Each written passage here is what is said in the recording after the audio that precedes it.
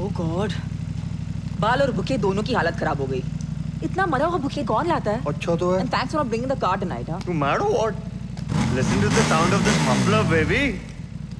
ए लाऊ डोंट से मज़ा नहीं आया यार. Come on. You and your bikes. Listen, I've had a really long day.